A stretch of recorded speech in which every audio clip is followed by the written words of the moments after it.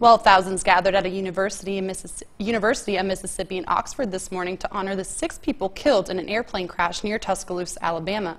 WCBI's Chad Groening has the university, was at the university, and has more.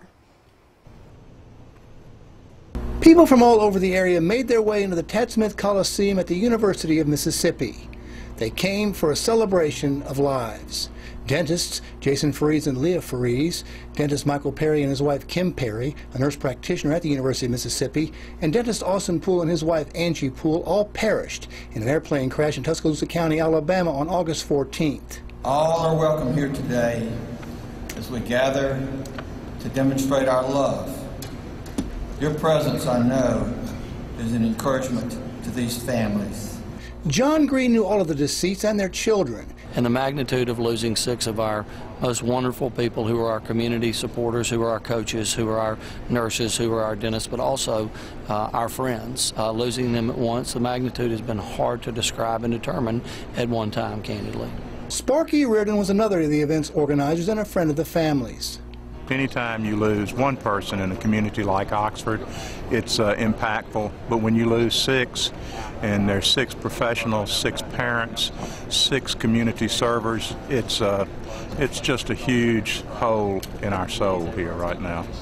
Russ Jones is an Oxford resident who was well acquainted with one of the victims. Michael was one of my first friends when we first moved here to Oxford uh, four or five years ago, and I instantly saw his passion and his drive and, and his heart. He was a guy that would give you the shirt off his back, and he was especially concerned about those that, that didn't have what he had, uh, those that, that might have been destitute in life. Dr. Ed Holliday is a Tupelo dentist who served as an usher at today's memorial.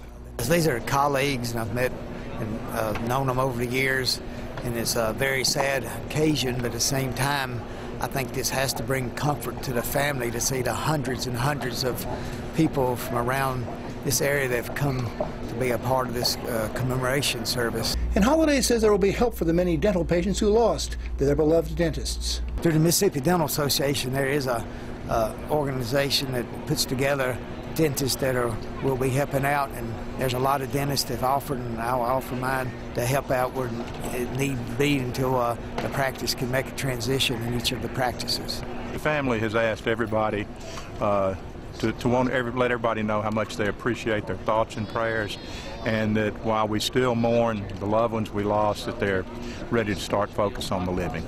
Today's memorial service at the Tad Smith Coliseum here at Ole Miss went a long way to bring this grieving community together. But now it's time for friends and family to begin what could be a long healing process. Chad Groening, WCBI News, Oxford. Now there has been a memorial fund set up. Our OxfordFamily.com is a site where you can donate.